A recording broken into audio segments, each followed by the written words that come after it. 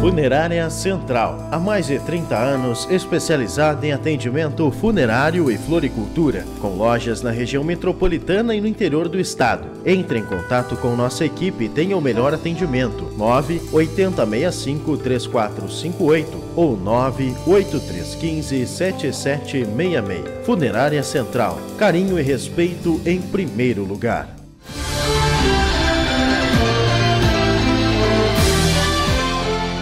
Os fogos de artifícios, que é uma cultura da época da virada de ano, causa muitos transtornos aos animais. Estou aqui com a Letícia Bastiani e a Letícia, que é veterinária, vai nos falar quais são os transtornos que essa prática, essa cultura dos fogos de artifício podem causar aos animais, principalmente os cachorros, né? Os cães são animais muito sensíveis em termos de audição e um barulho desse, um estrondo desses, causa um transtorno psicológico neles incrível, né?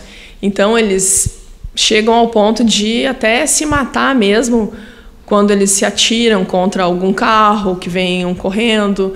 Tem alguns que pulam muro. Então acaba causando um, um... problemas cardíacos. Né? Sim, com certeza. Tem animais, eu tenho isso, eu tenho clientes, né, que eles têm os pacientezinhos, né, que são cardiopatas, e aí então com a chegada dessa época do ano, as pessoas elas ficam extremamente preocupadas porque o animal ele passa muito mal com aquela ansiedade, né? E esses cardiopatas eles podem sim, né, vir a ter uma síncope para o coração e acabam indo a óbito. Então esses barulhos muito altos causam incômodo auditivo neles incrível. Alguns eles conseguem se manter um pouco mais tranquilos, mas eles não vão estar no normal deles, certo? Alguns outros que são mais afoitos, isso para eles é um terror.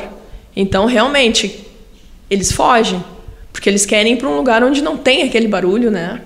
Então, eles acabam, meu Deus, para onde é que eu vou? E vão embora mesmo, né? Então é, é, é, uma situação, é uma época do ano assim, bem delicada para gente que trabalha com saúde animal, né? os veterinários, quem tem animalzinho de estimação. Realmente é uma época que o pessoal procura muito a gente para saber o que fazer nessa época do ano, como agir, o porquê que eles ficam assim. Né? Então isso é, é, é muito delicado. Como agir que, que pode ser feito pelo, pela pessoa que tem cachorro em casa e que vive esse drama aí nessa época do ano? É, realmente, tu falaste a palavra certa, é um drama, né? É um drama, porque a pessoa... A pessoa não sai de casa, tem que ficar cuidando dos animais, é uma série de... Exato, exato. Então, assim, muitas, muitas pessoas elas se privam de saída, de viagem nessa época do ano, né? Porque elas querem ficar com o seu animal, não importa o tamanho, né? Do seu animal, eles ficam em casa.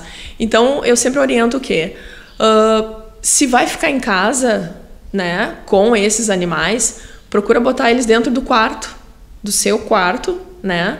Se tu puder ficar junto, melhor ainda. Aí o animal naquela hora daqueles, esto daqueles estouros todo, eles vão ficar no, no teu colo, né?